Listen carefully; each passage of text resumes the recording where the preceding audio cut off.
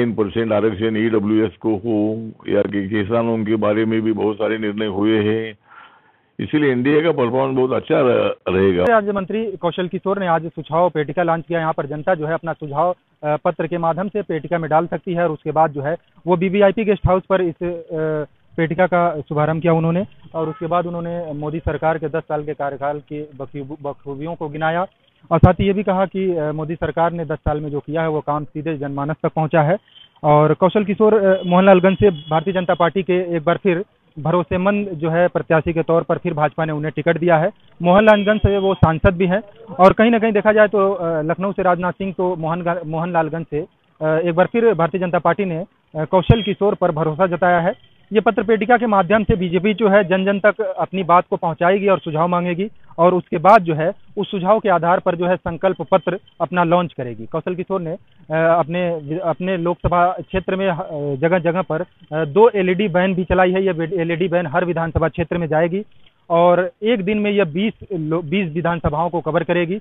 इस तरह से भारतीय जनता पार्टी जो है आगामी लोकसभा चुनाव को लेकर अपनी तैयारियाँ जो है पूरी तरह से कर ली है और एलईडी वैन के ज़रिए वो जनता तक पहुँचने का कार्य कर रही है। एनडीए का। हम्म? एनडीए का परफॉर्मेंस इस बार कैसा रहेगा? हाँ तो नेशनल डेमोक्रेटिक अलायंस इस वक्त मतलब 2014 से 2019 से भी 2024 में बहुत बड़ा स्ट्रांग रहेगा। कि आप लोग जानते हैं कि मतलब 2014 में नरेंद्र मोदी जी के नेतृत्व में 282 सीटें मिली थी बीजेपी को। 2019 में 303 सीटें मिली थी। अभी ये पाँच सालों में बहुत बड़ा का काम हुआ है।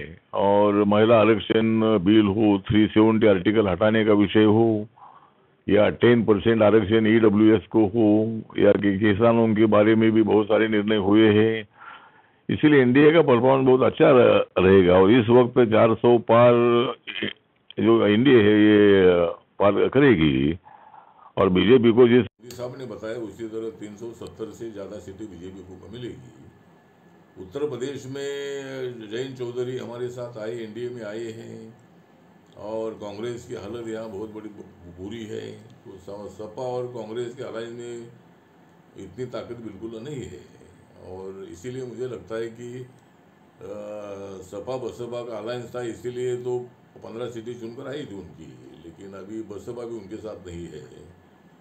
तो कांग्रेस का जनादर पूरा टूटता जा रहा है। Asif Khan, news four nation. Lucknow.